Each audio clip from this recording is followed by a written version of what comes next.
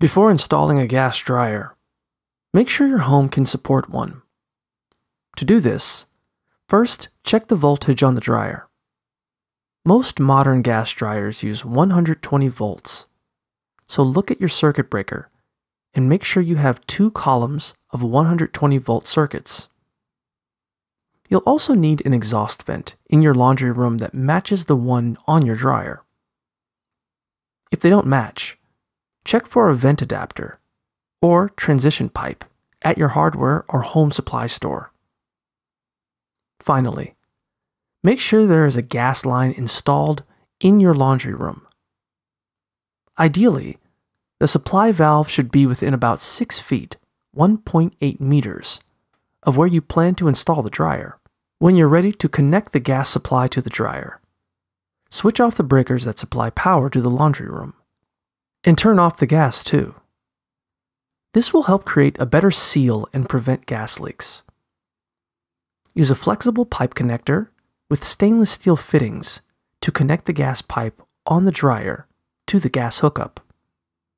Then, use a pair of adjustable wrenches to tighten the connections between all the gas line components. To make sure there are no leaks in your hookup, coat the connectors between the components with a mixture of one part water and one part mild dish soap. Then, switch on the gas. If you notice bubbles forming on any of the connections, tighten them and try again. Turn the gas back off before moving on to the next part of the installation. Next, connect the exhaust vent on the dryer to the vent in your wall with a vent hose.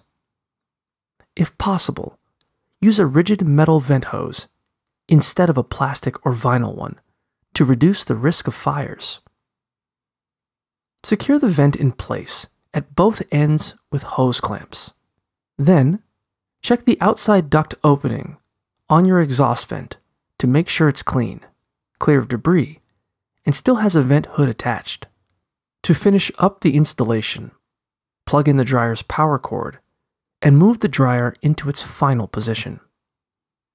Use a level to make sure the dryer is sitting nice and flat, which will help it stable and working correctly. Switch the breakers and gas back on, and you are ready to use your new gas dryer.